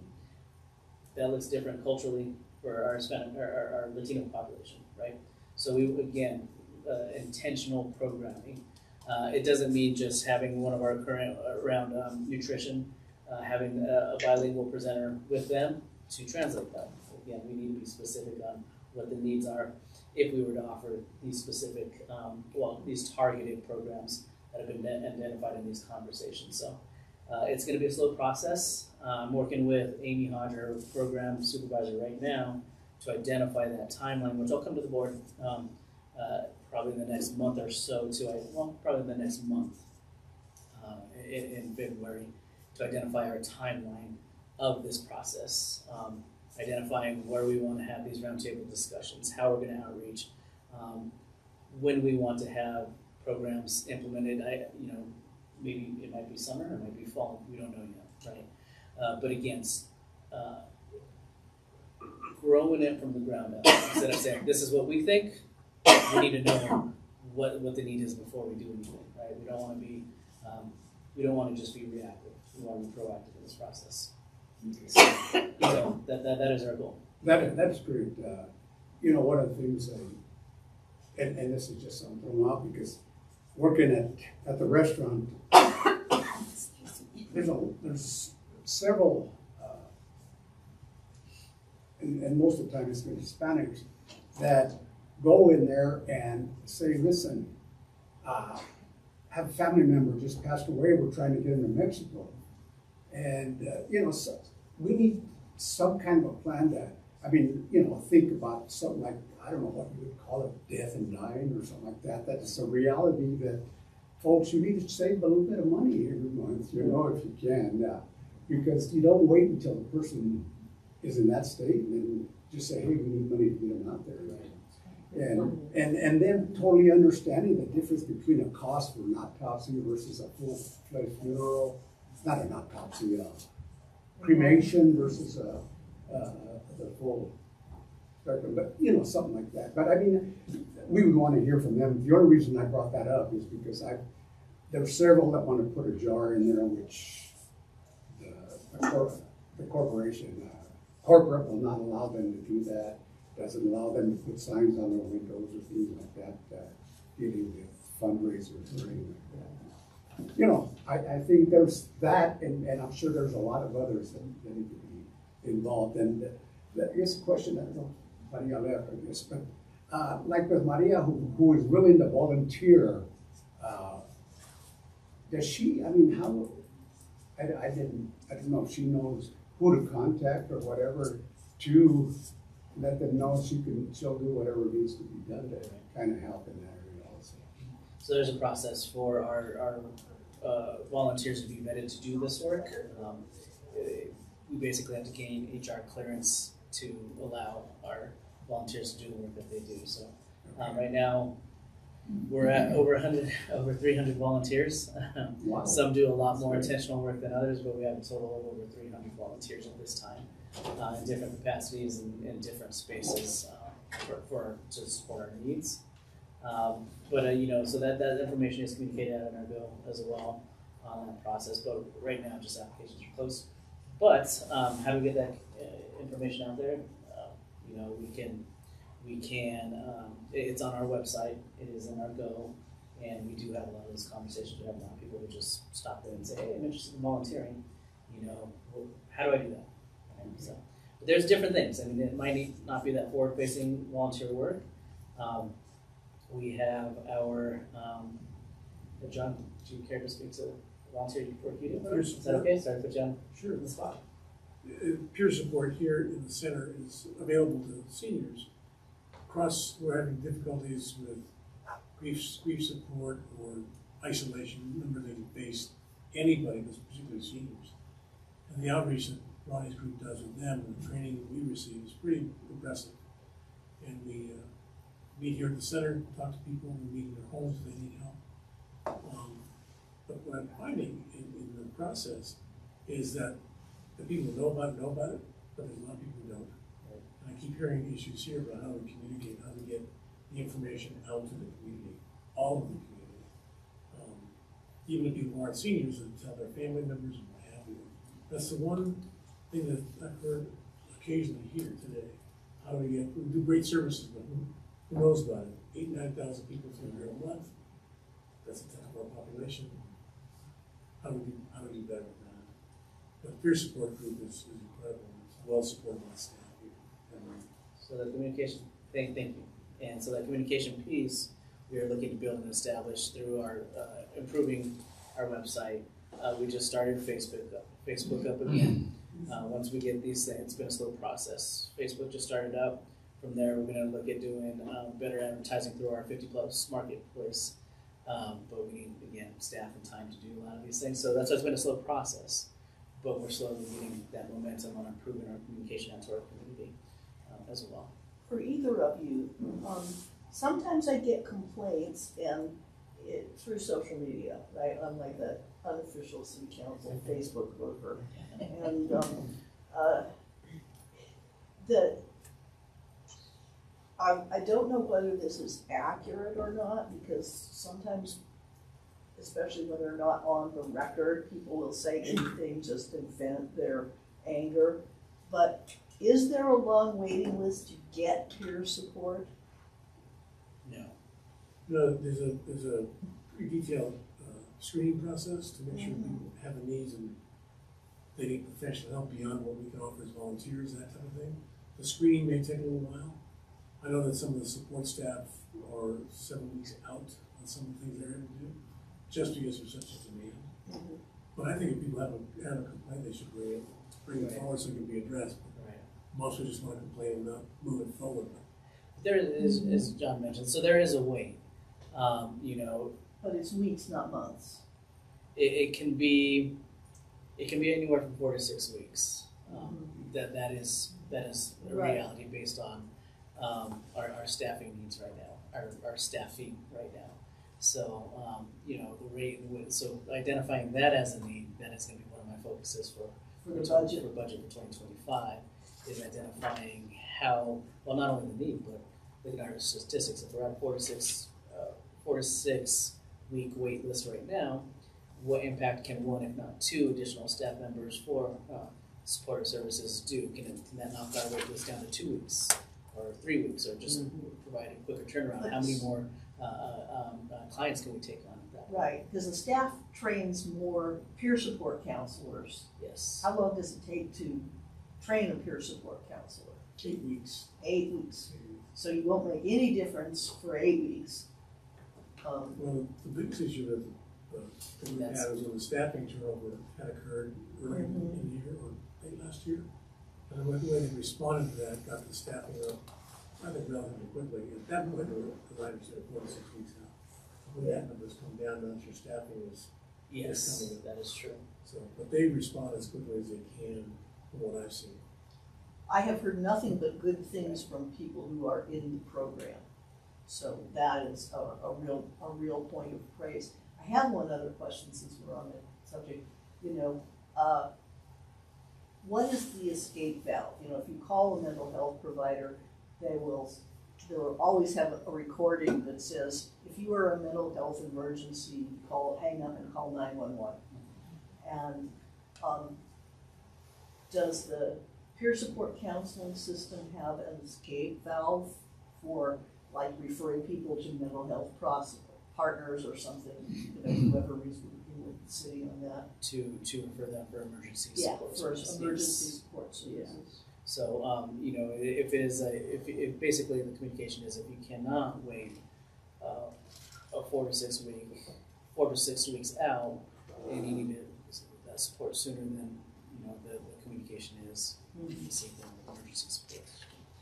Um, But I wanted to go back to peer support volunteers, so that is actually who's on our, our Go cover this year is, is honoring and recognizing, um, our, our peer support volunteers and the work that they do.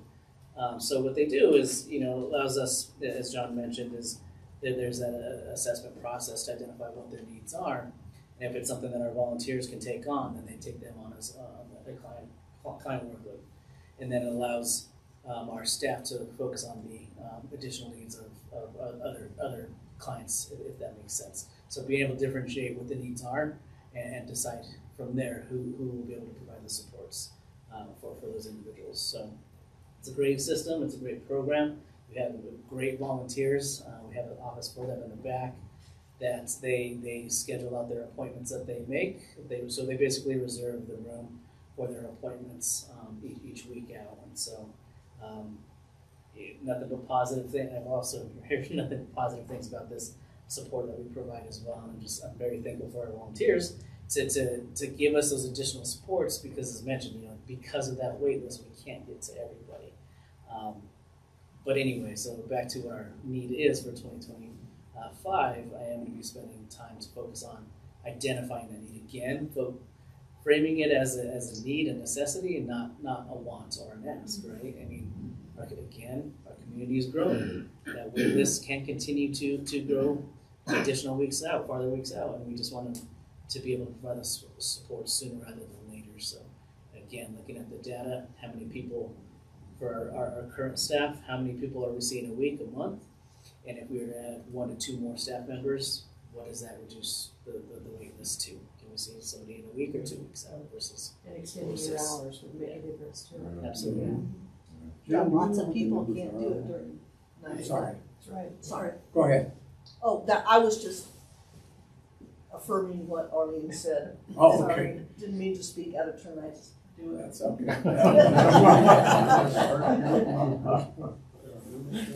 I think it's, I think it's a report that they're creating for the participation of, of peer support and other programs, like Kingdom is getting our numbers of hours. Yeah. So they're working on that for the annual report, which Okay. I don't have. We'll right get now. Uh, yeah. A quick question. So they have the same service in Spanish or only in English? Yep, Spanish as well. Spanish, Yep. So we have uh, two resource support volunteers, uh, not volunteers, sorry, specials, who who um, are, are are bilingual. So Yeah, I was wondering because I take care of my mom for five years. So she passed away last year and she was 95. So she was living with me the last five years.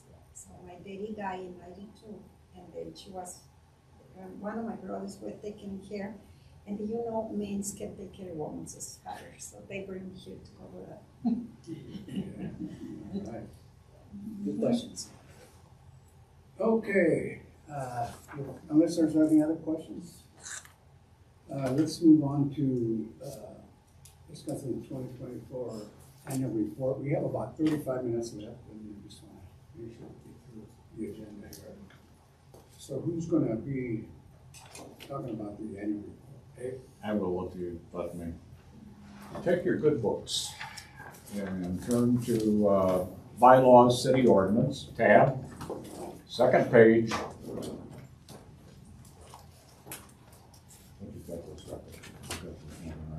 I got right, I memorized the city code in first year.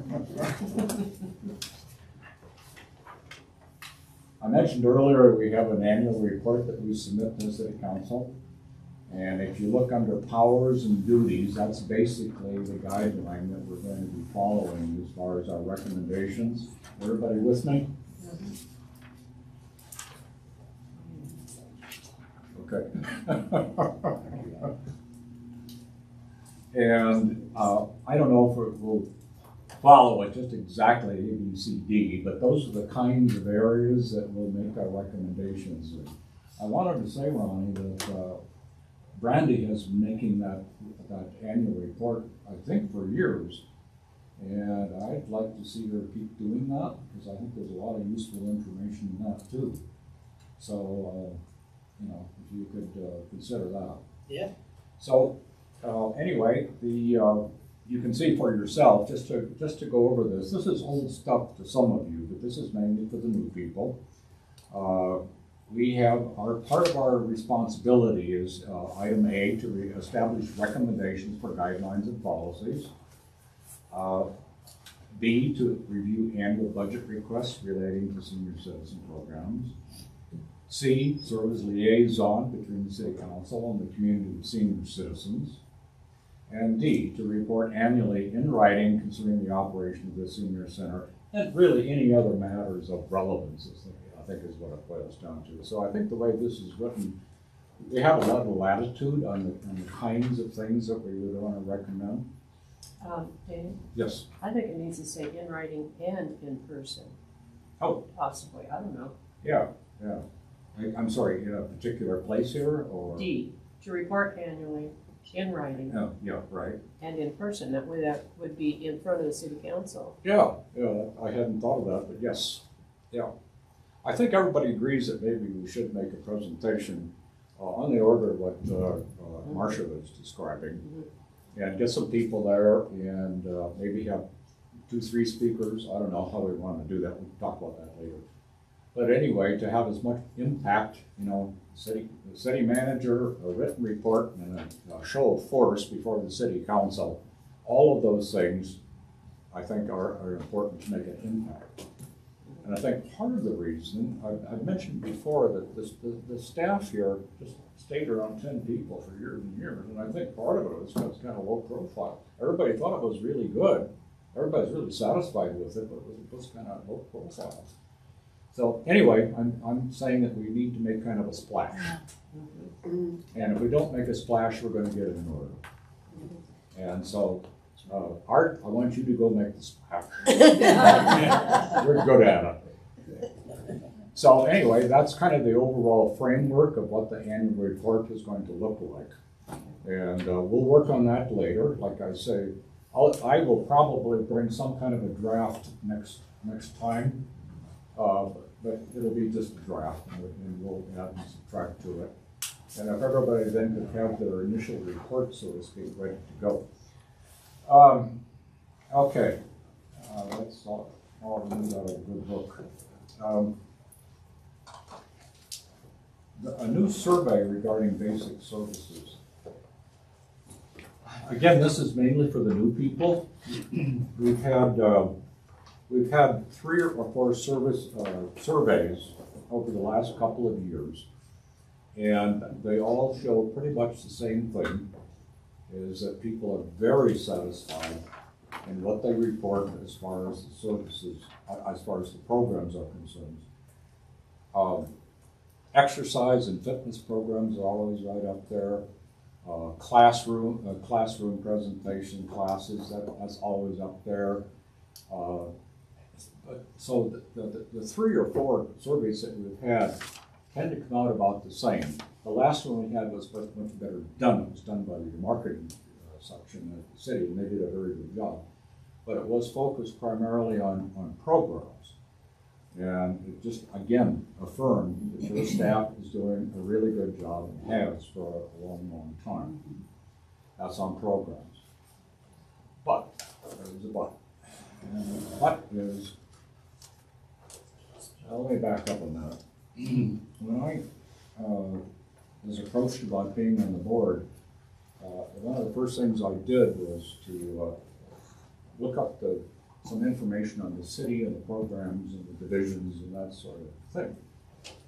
And uh, the, the idea of equity permeates the, the, the city literature. You know, equity is a big deal with the city. As a matter of fact, most most meetings have that preamble, you know, saying about the, uh, is it the Arapaho tribe and the, the Indian lands. So, I mean, there's a real commitment to, excuse me, to equity, I, I think, in the city. That really appealed to me. And I read through some of the strategic plans, and equity as far as senior services is also important. And that's, that's where I think we could maybe do something a little bit different.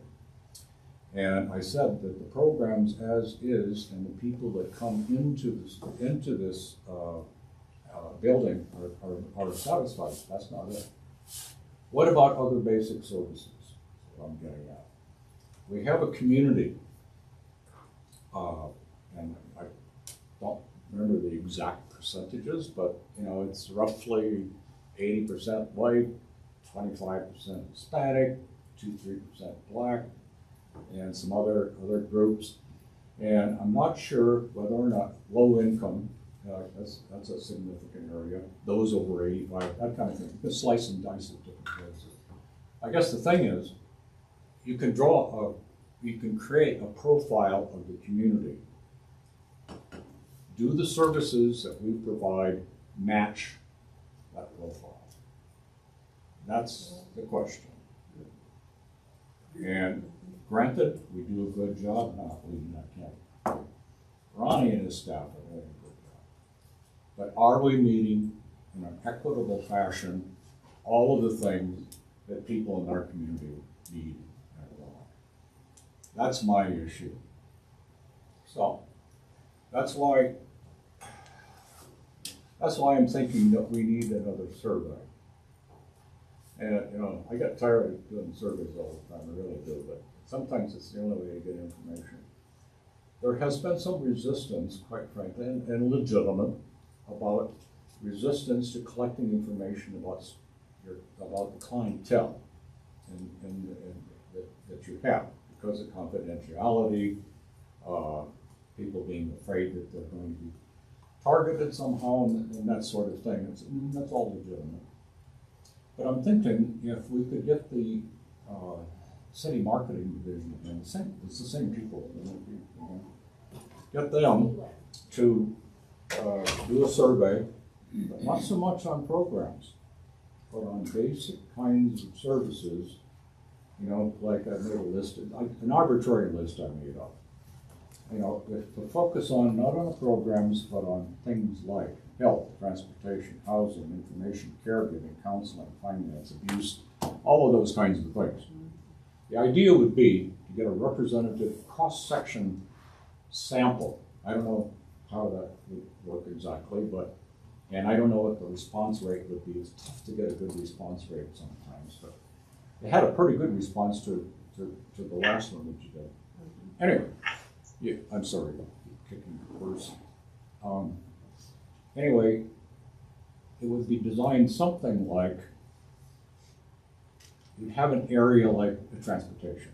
Now granted, we have lots of transportation programs, but is transportation a problem for a particular group that should be served and isn't?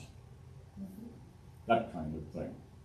What if you have a person that's Hispanic, for example, that has a problem with depression and also has a problem with caregiving, and they don't have a car?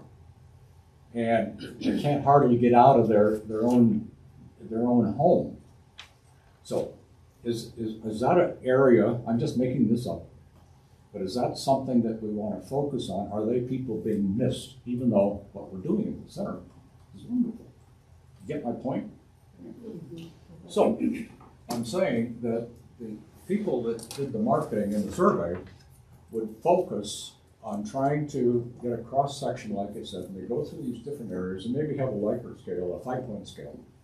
Like, uh, health is a, is a very serious problem to me or a member of my family, that would be like a five. And on the other end, it would be, it's of no consequence to me, or, you know, however you want to define that scale. And you go through these different areas, and then you, you get some sort of a measure that way. Okay, then, so what do you do with it? And what I would think that you want to do with it is Ronnie and his staff, or maybe you and Harold or Christina or whoever, you know, your managing people, you know. You take, uh, let's say that the highest ranked need out there is not what we expected it might be, but it might be something like, uh, I don't know, abuse. I, I don't know if that's good category or not, but abuse is, is a really big problem. Okay, and then do you have, do you have the staff that you need? Do you have the money? Do you have the budget? Do you have the resources to plan and to reach those people that have that kind of a problem? So, this is not easy stuff. So, your task would be to define what you would do during the year. Okay, you've identified the problem by group, how important the issue is by group, hopefully. And then you devise a plan of what you're going to do, specific activities, programs, whatever, that meet that particular need. And then at the end of the year, you evaluate how you did. And that's how we measure how we go, how we're gonna go through from time period to time period. So, you know, this is all kind of new. I don't know whether I see some people nodding their head and some people looking crazy. Um, So I, Well, I guess I, I'm, how do we define what the role of the senior center is as compared to those things on your list? And what the city offers. Yeah, and the what? and what, the sorry, go ahead. And what the city offers. It, if senior services doesn't offer uh, support on abuse, which Mhm. I think we do to some Yeah. extent, Yeah. but how do we connect people to that service somewhere else in the community? Well, yeah, I- well, I, I don't know exactly, but it goes back to your referral, your support services staff. That would be something that they need to be aware of, and so they can make the, the kind of referrals that they need. You, you don't have the resources enough time yourself. Is that, what- is that what you're getting at? Yes. Mm-hmm. Yeah. Yeah. So, you know, I'm not saying that you pick up and solve all of these problems. No. Especially housing. Transportation. So, you know, that's, it's a way to make movement. If someone asked me to describe how you do, what kind of progress you've made in these different areas and basic services over this last year, I couldn't tell them. And, you know, I would like to know, as a board member, I would like to know. So I can make recommendations to the city council, to the Herald, or anybody else that's listening, you know. So this is not easy stuff. It's simple, you know, it's simple enough. Define the need, plan a program and evaluate it. I mean, it's simple enough, but doing it is, is, is a little more difficult. So this is the kind of thing that I think we want to do as far as to get to your issue, Art, is how do we do outreach? that would kind of define where we go, what kind of outreach we do. We do outreach where the need is. Yeah. So, And it- it's, it's gonna be a long process. no, this is not something to do overnight, no. Marcia and uh, Jeff both had their hand up. Oh, I was just gonna add that what Dave is describing is a no wrong door strategy. Um, so, uh, it, it basically means, uh, things like, uh, at, at some point, the senior center, which is likely to be the first contact for a lot of, uh, certain, certain groups, um, it gets better at referring people to the, um, police team that is associated with domestic abuse. Because it's a, it's a priority for them, and elder abuse is domestic abuse. Um, so, uh, we might have some expertise, or we might not, uh, in the, uh, Longmont Economic Development Partners, because they used software and, and a lot of different techniques for implementing no wrong door, um, for entrepreneurs, startups in the community. It's not a different problem, it's just a different space. So, uh, I just wanted to point that out, that it has a name and, and essentially, when you were saying, how do you do your metrics, you know, you have counters, you have counters on the arcs of the graph so that when you make a referral, you count that. Um, and, uh, there could be a, a different time for talking about it. Yeah, that, that's something a little further on down the line, but that's the idea. That, that would be the idea. Then some, one, another idea that's had some resistance, uh, I don't know how you folks feel about it, and that's, uh, to, to narrow the subgroups down by the, the survey that was done just lately, that was broken out by age. Well, it sure be helpful if we had a breakout by sex, income level, race, those would be the big ones. So, and I know there's some resistance, like I said, within the staff, some people just don't like to do that because they feel it's invasive. But lots of people, lots of organizations do it. Census Bureau does it. Uh, But there's, that, that's something that I would leave in the hands of, you know, if, if that's a recommendation we wanna make, that's something that the, your marketing people could work out. Maybe they'd want an attorney's opinion, you know, I don't know how, how far you can go. Um, collecting in- that information on the survey, I think, wouldn't be a problem because it all would be anonymous and you're not at the senior center. But once you get to the senior center and providing services, that's a different animal. So, I mean, that, that- there's some work. This, this is just an overall big picture idea. But that's the sort of thing that I would like to recommend. And I don't know if we would not need to put this on the agenda for next month or continue Yes. with some of this Mhm, as to what we're doing. I'm sorry, we're And, uh, so is there any other questions? If, if not, I'd like to go ahead and, and move on to, uh, Ronnie. Manager's report. I'm gonna send text real quick. I'm gonna text um, T- Teresa. So we have. Uh, I have that here. um, we. I, I want to introduce one of our new staff members, uh, Teresa Melvin, our front office receptionist. She started with us uh, a few weeks back, and um, just wanted to. Do you want me to go get her? Uh, I got her coming. Okay. I told them to keep her, her going by. Okay. And so I'll, I'll bring her out here in a second. But also did want to announce that Terry Calvin did accept our um, recreation pro- program coordinator position, and so she's officially starting. She's been with us in a part-time capacity, helping us since um, since the summer.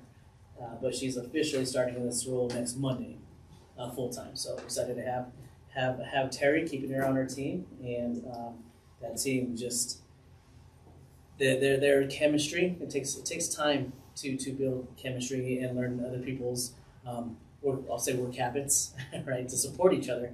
And the, the that team of four back there has just clicked immediately, and it just. I mean, our programs. And I've said it from the very beginning. Our programs don't suffer, but they definitely have not suffered. We've, they've introduced uh, new ideas um, uh, um, into into our program, things that we've never even done before, and you know, I'm just hearing nothing but positive feedback from anybody who attends our CEPs, cultural enrichment programs, and our day trips as well. So, um, just fantastic team, and I'm glad we're keeping Terry Terry with us. Um, we at the end of the year, our team kind of met to identify goals for 20, 2024. So, I just want to share with the board that we're working on crafting it. We've identified our goals for 2024 and our foundation around culture. Um, and what do what do we stand for basically? What do we as a senior center staff member, What is it we stand for in our community? So we're gonna start unpacking that, develop goals for 2024 based off of those responses, and, and, and start um, using that to align for uh, everything we do this this coming year. Romy, are you gonna present that to the board so that we can have uh, goals that? Yeah, when we get there, absolutely, absolutely. So yeah, we're just in the. I mean, we, we, we jumped in this office, this whole whiteboard, or this office, this room, this whole whiteboard was full of, um, of notes, so reflecting on this past year. So last year's goals that were uh, established and kind of seeing where we where we fell uh, in the process. Did we meet these goals? Uh, did we achieve them? Do we need to carry these over to 2024?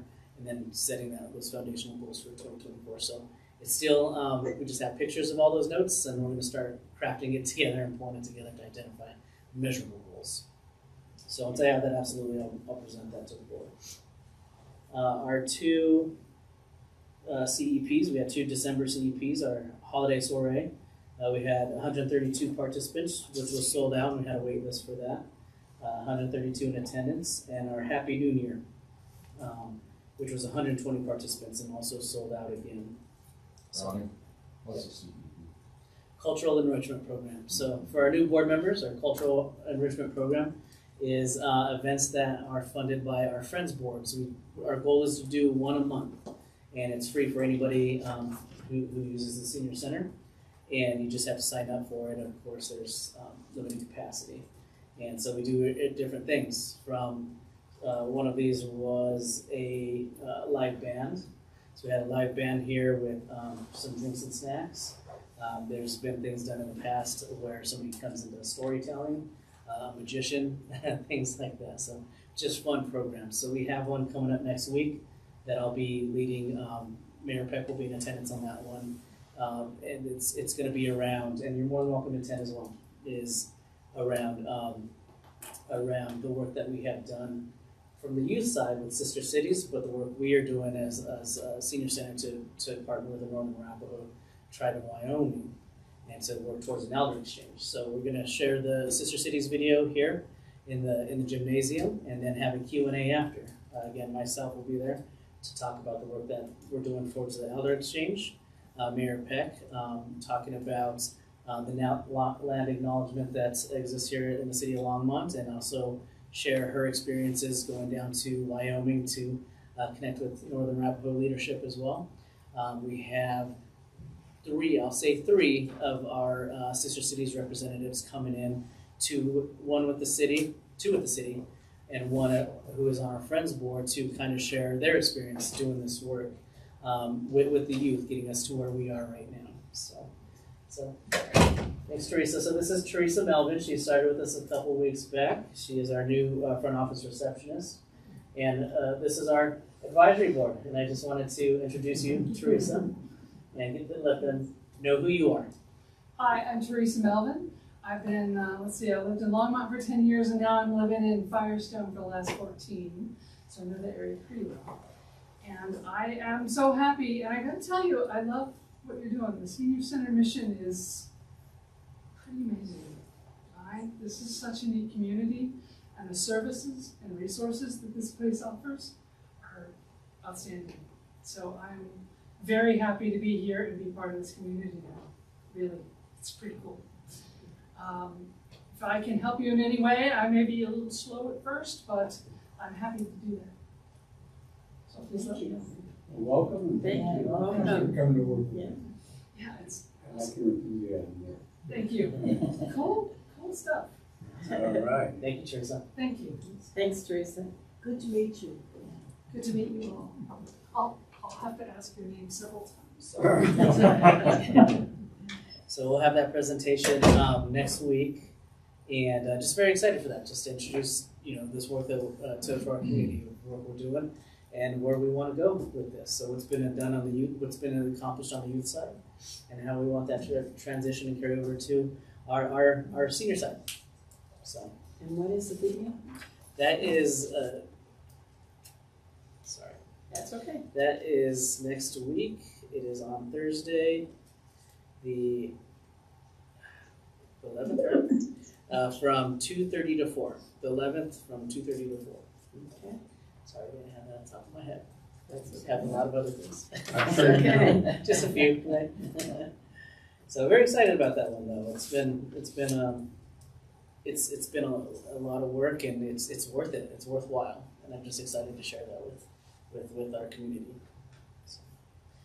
Um, our Go magazine has arrived for December through February, which we have in here in, your- in your in your uh, pack in your binders, and our Spring Go has submitted for print. So we're getting ready to, to, to get our solidify our Spring Go uh, catalog coming up.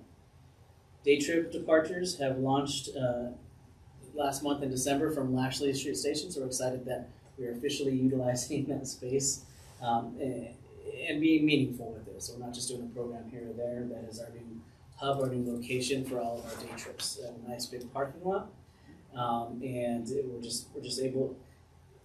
Sometimes we come here when we have a lot of programs going on. This parking lot is just very jam packed. So we have those day trips where they're gone from uh, 8 a.m. till 5 p.m. And we have a charter bus that carries 50 plus people, right? And that's 30 vehicles in our parking lot. Uh, that leaves whoever's coming for our, our day programs here, our classes here, to park over at recreation and walk all the way down. So it just helps alleviate some of that congestion. But again, having that central location for where all of our trips depart as well is um, uh, is very important.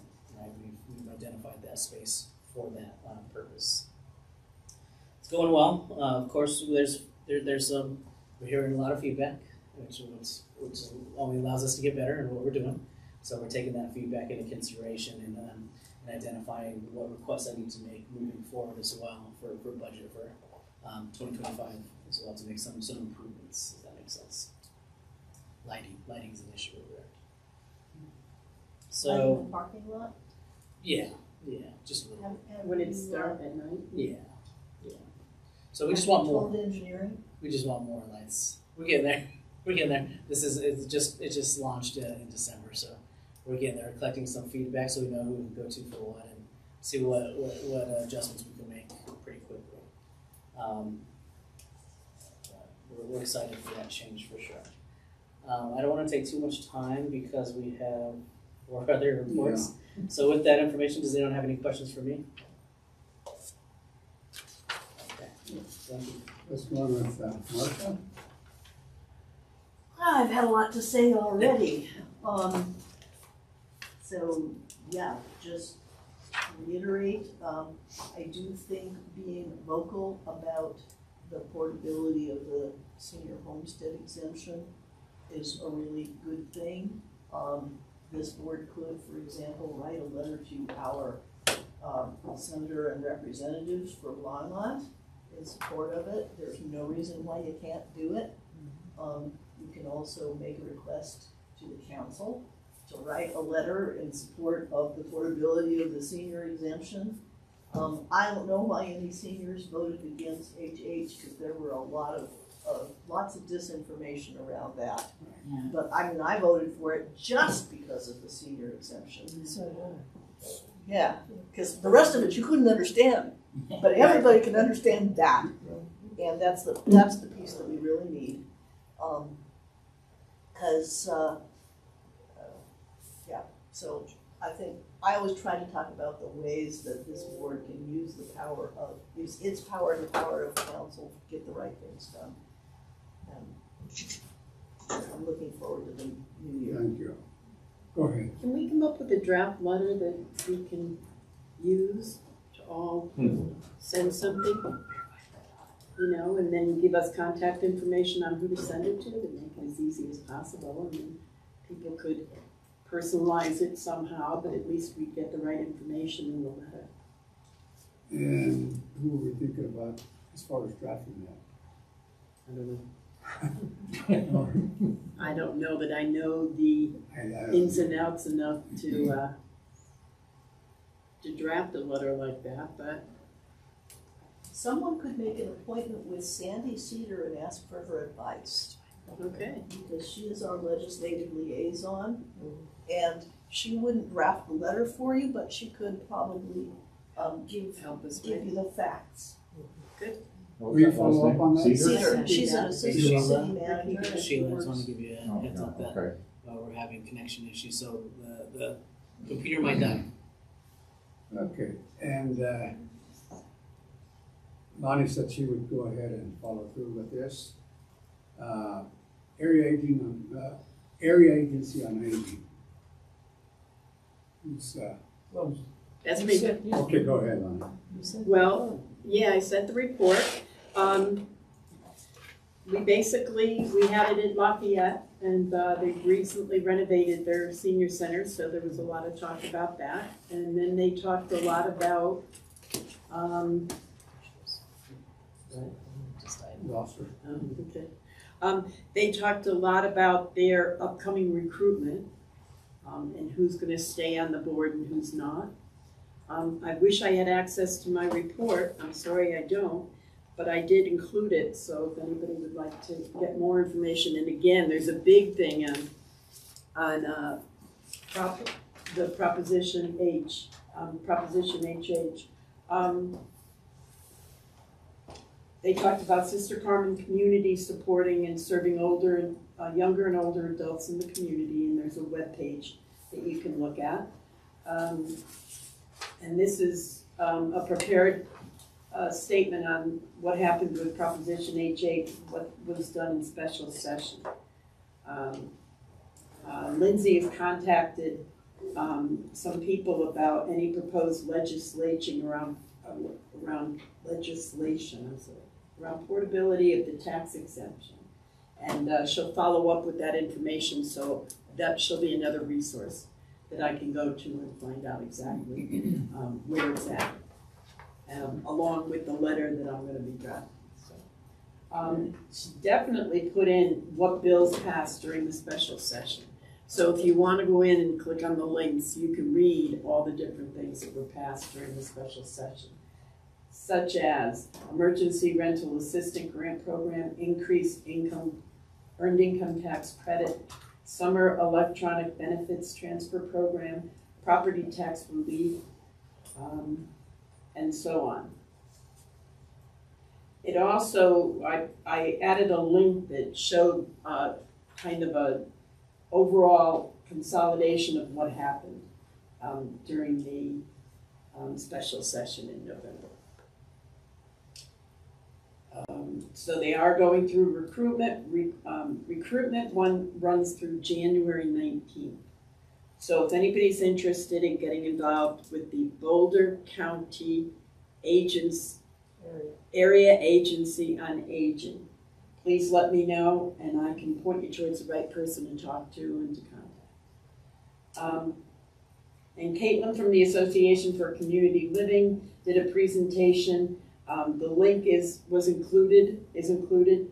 Um, and basically, it was several aspects of living in a community where disabilities are embraced. Um, and she did add her presentation and several resources that she shared. And that's it. Questions? Uh, You know, I know people are busy, so if you need to leave, we can definitely understand. But if we can, uh, if there's anything we can uh, table till next meeting, but if uh, someone in the friends wants to, So that was Sheila, and she did not attend this last meeting. okay. Dave got that notification too late. um, but really, all they did is identify two new board members. Um, there wasn't too much missed. Right now, they're reviewing our proposed uh, budget for, for, for the senior center for next year. And so they just spent a lot of time and energy reviewing those line items. So.